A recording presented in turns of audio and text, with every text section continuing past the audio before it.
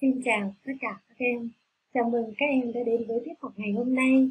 Tôi tên là Hoàng Thị Nga, là giáo viên đang công tác tại trường tiểu học Nguyễn Thái Bình quận 12. Tôi rất vui vì được đồng hành cùng các em trong tiết học này. Và để mở đầu tiết học, cô mời các em cùng lắng nghe một bài hát thật là hay và dễ thương nhé.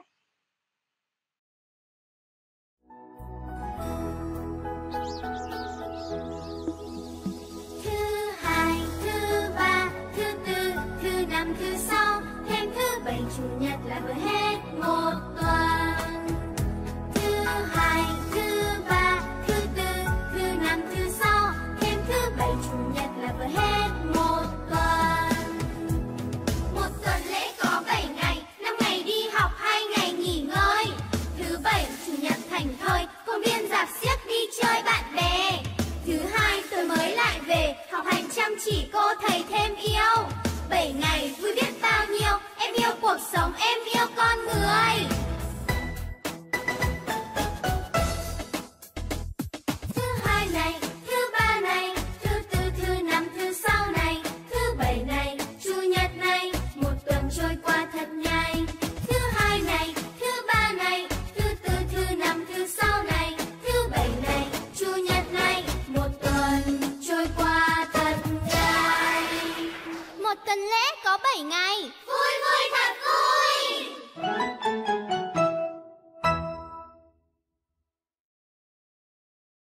Theo, cô mời các em cùng tham gia một trò chơi có tên là đố bảng.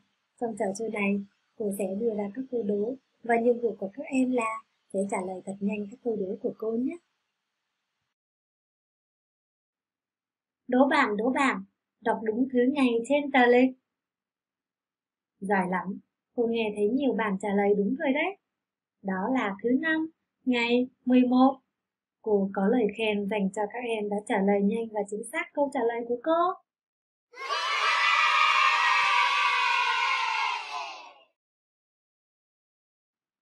Đố bạn, đố bạn, đọc đúng thứ ngày trên tờ lịch. Tuyệt vời! Có bạn đã trả lời là đó là thứ hai, ngày 8 cùng có lời khen dành cho các em nhé. Câu đố cuối cùng của cô là đố bảng đố bảng đọc đúng thứ ngày trên tờ lịch này. Chính xác, tờ lịch ghi thứ sáu ngày 31. Phần thưởng dành cho các em là một tràng vỗ tay thật là to nào.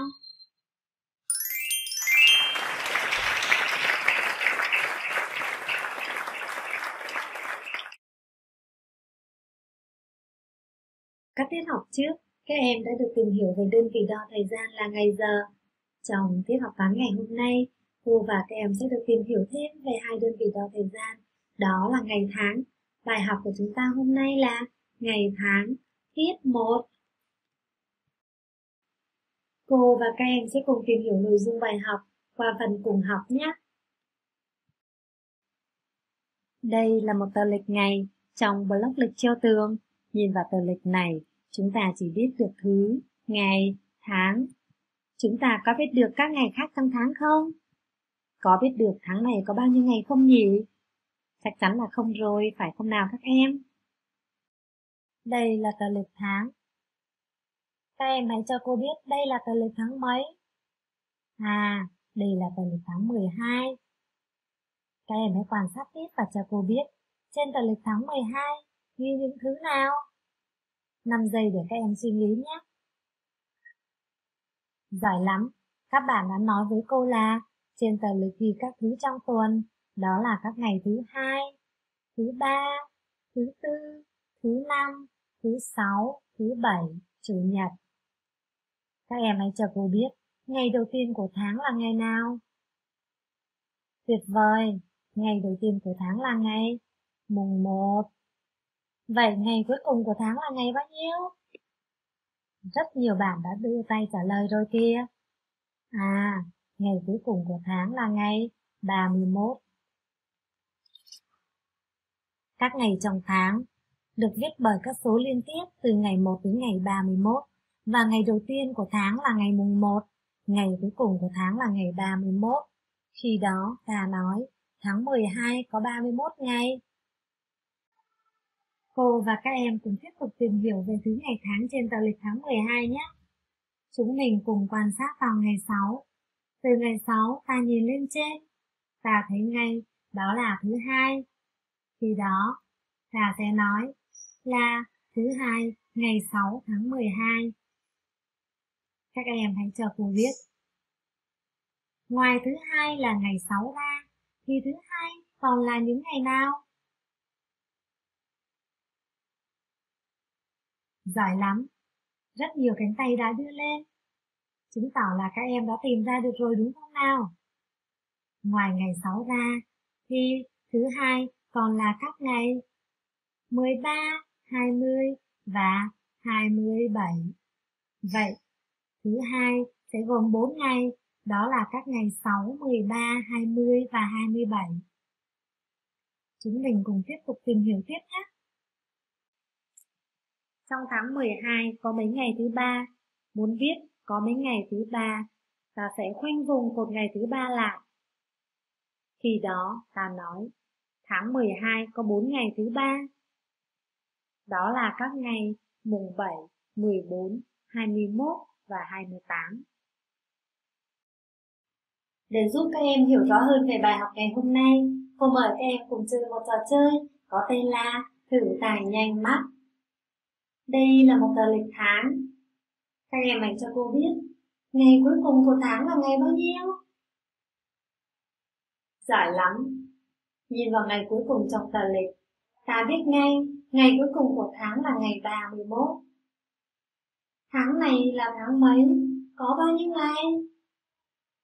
Tuyệt vời, tháng này là tháng 3, có 31 ngày. Cô có lời khen dành cho các em đó trả lời nhanh và chính xác nhé.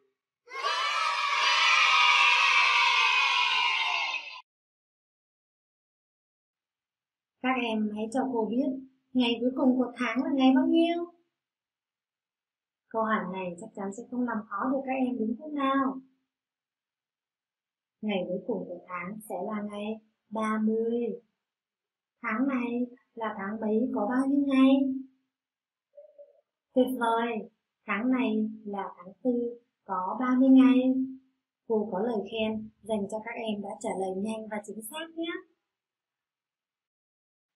Em nào nhanh mắt, hãy cho cô biết ngày cuối cùng của tháng là ngày nào.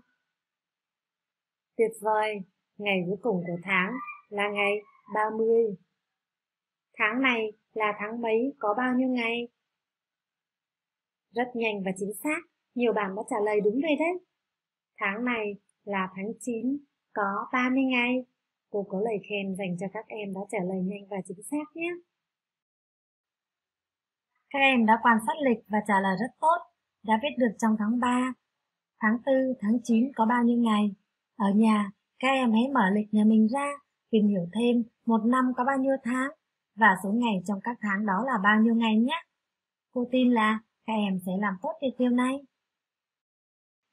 Bây giờ cô và các em sẽ tìm hiểu về thứ ngày tháng trên tờ lịch tháng 12 nhé. Các em hãy cho cô biết hôm nay là thứ mấy rất nhiều cánh tay đã đưa lên. Hôm nay là thứ sáu ngày 31 tháng 12. Ngày 31 tháng 12 có gì đặc biệt nhỉ?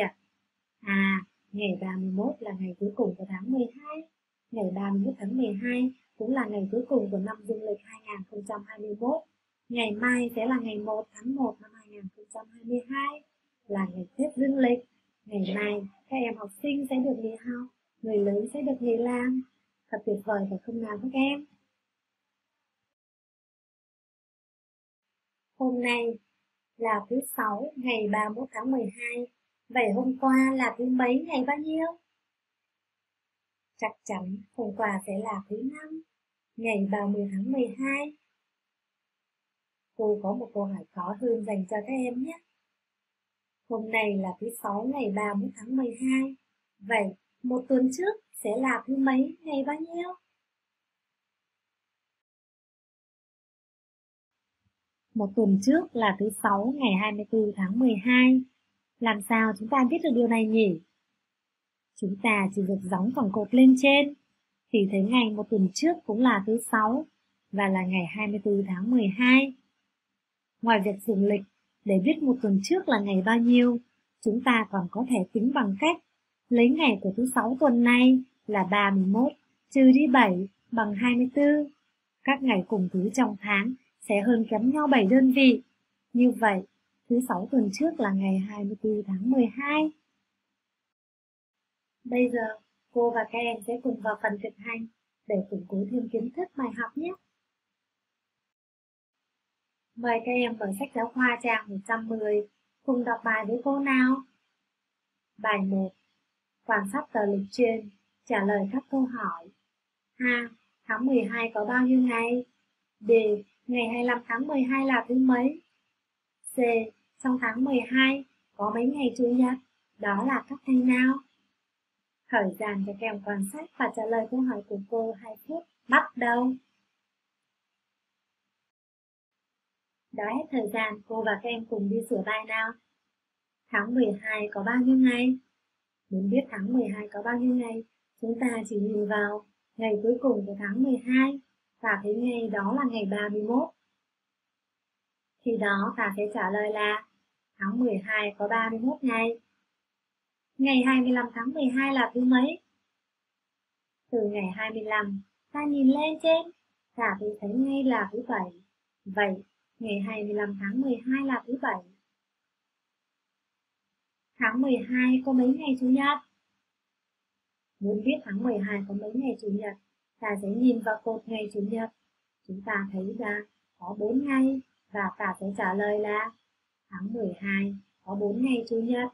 Đó là các ngày mùng 5, 12, 19 và 26.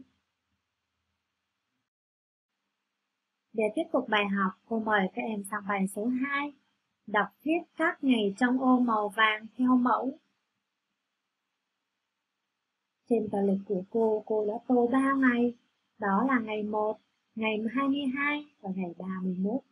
Các em cùng quan sát cô làm mẫu cách đọc viết ngày mùng 1 nhé. Từ ngày mùng 1, ta nhìn lên trên, ta thấy ngày đó là thứ tư, tháng 12. Thì đó cô sẽ đọc là thứ tư ngày 1 tháng 12 và cô sẽ viết là thứ tư ngày 1 tháng 12. Các em cần lưu ý khi viết, đọc ngày tháng, chúng ta sẽ viết hoặc đọc thứ trước, rồi sau đó sẽ đến ngày tháng sau. Và khi trình bày vào vở, chúng ta sẽ trình bày giống như bảng của bạn trai nhé. Chúng ta sẽ cùng đi tìm hiểu cách đọc viết của ngày 22 nhé. Từ ngày 22 chúng ta nhìn lên trên và thấy ngay đó là thứ tư. Vậy khi đó chúng ta sẽ đọc là thứ tư ngày 22 tháng 12 và chúng ta sẽ viết là thứ tư ngày 22 tháng 12 bằng số.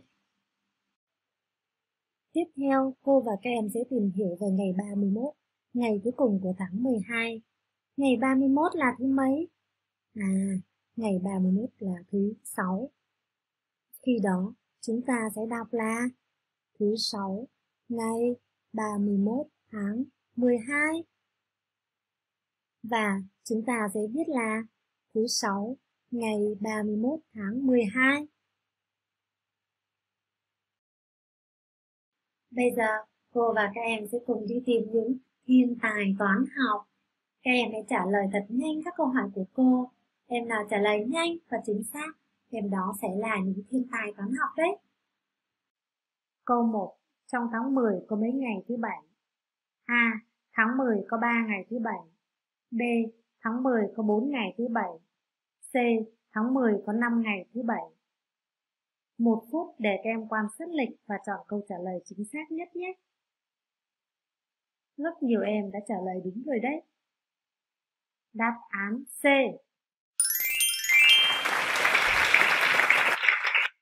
Tháng 10 có 5 ngày thứ bảy là đáp án chính xác nhất. Các em hãy quan sát lịch và cho cô biết, trong tháng 10 có mấy ngày Chủ nhật. A. Tháng 10 có 4 ngày Chủ nhật. B. Tháng 10 có 5 ngày Chủ nhật. C. Tháng 10 có 6 ngày Chủ nhật. Một phút cho các em quan sát lịch và chọn câu trả lời bắt đầu. Thời gian đã hết. Cô thấy rất nhiều em đã trả lời đúng rồi đấy. Đáp án B.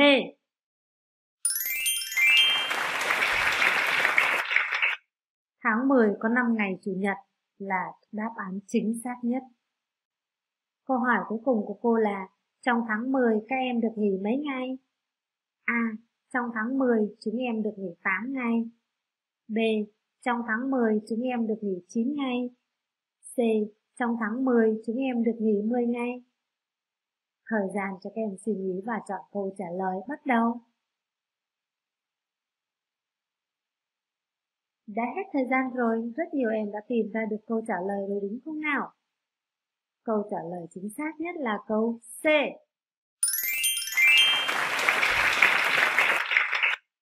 Trong tháng 10 chúng em được nghỉ 10 ngày là câu trả lời hoàn toàn chính xác. Vậy là cô và các em đã tìm ra được rất nhiều nhà thiên tài toán học. Cô có lời khen dành cho các em nhé. Trong tiết học toán ngày hôm nay, cô và các em đã được tìm hiểu thêm hai đơn vị đo thời gian, đó là ngày tháng. Các đơn vị đo thời gian là những đơn vị chúng ta sẽ sử dụng hàng ngày trong cuộc sống. Vì vậy, các em mới vận dụng những kiến thức đã học được trong tiết học ngày hôm nay để đưa vào cuộc sống hàng ngày để chúng ta có thể chủ động hơn, sắp xếp thời gian và công việc phù hợp hơn và cũng hãy sử dụng thời gian có ích cũng như có hiệu quả nhé. Như là chúng ta phải chăm chỉ học tập và phải giúp ba mẹ mỗi khi chúng ta làm bài xong. Tiết học của cô và các em tới đây là kết thúc rồi. Cô chúc các em luôn mạnh khỏe, luôn chăm ngoan học giỏi. Tạm biệt và hẹn gặp lại các em ở tiết học sau nhé.